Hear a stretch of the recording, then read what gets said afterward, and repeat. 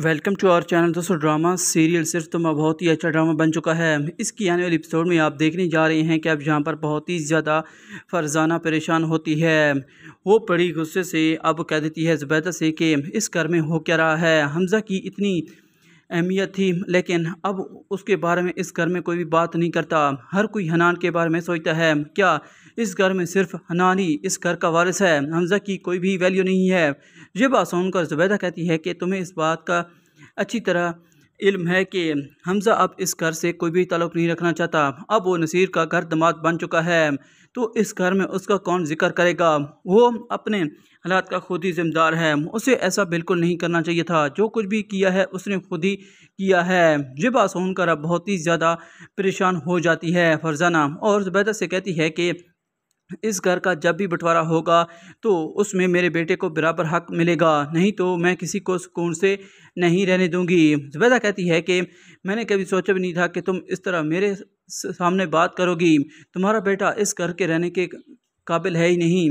तो तुम इस तरह उसके बारे में कैसे बात कर सकती हो? ये बात सुनकर अब बहुत ही ज़्यादा फरजाना परेशान हो जाती है। अनमल एपिसोड में आप ये भी देखने जा रहे हैं कि अब यहाँ पर बहुत ही ज़्यादा अबीर परेशान होती है। वो हनान से कहती है कि, हनान, खुदा के लिए मैं तुम्हारे काबिल नहीं हूँ। तुम मुझे छोड़ दो। मैं तुमसे डिवोर्स लेना चाहती हूँ। तुम जाकर सारा से शादी कर लो। सारा ही तुम्हारे काबिल है। वो तुमसे मोहब्बत करती है। ये बात सुनकर नान कहता है कि, हर वक्त बेवकूफ़ों वाली बातें मत किया करो।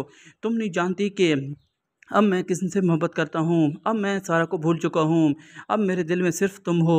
आज के बाद अगर तुमने ऐसी कोई बात की तो मुझसे बुरा कोई नहीं होगा। ये बात सुनकर अब बहुत ही ज़्यादा अबीर परेशान हो जाती है। अबीर ने कभी सोचा भी नहीं था कि अब इस तरह हनान सोचने पर मजबूर हो जाएगा। उधर दूसरी तरफ़ अब आप ये भी देखने जा रहे हैं कि अब फराज बहुत ही ज़्यादा परेशान होता है। वो एजाज को कहता है कि मैंने कभी सोचा भी नहीं था कि अभी इस घर में आकर इतनी ज़्यादा खुश रहेगी। मैंने तो सोचा था कि हनान उसे जल्द ब जल्द छोड़ देगा, लेकिन वैसे तुम्हारा बेटा है कमाल का।